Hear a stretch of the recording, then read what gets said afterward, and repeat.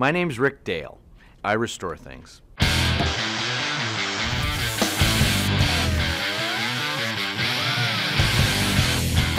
I can restore anything you can possibly imagine. We rip things apart and bring them back to their natural state.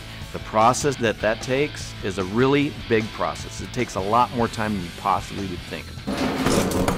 My dad taught me like the basics and to have an attitude. I mean, one thing he said to me is I was lazy. And that day that he said I was lazy, which I didn't think I was, drove me to a level that was just, I mean, sometimes it gets a little out of hand. I may be old, but I still can kick his ass.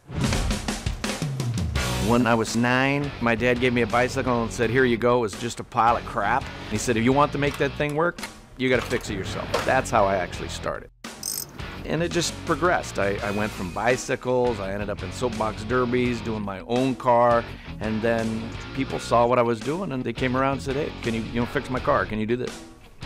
Oh, God, that's great. The best part of my job is the customer smile. Wow. That is the most gratification I possibly could get. Oh my word!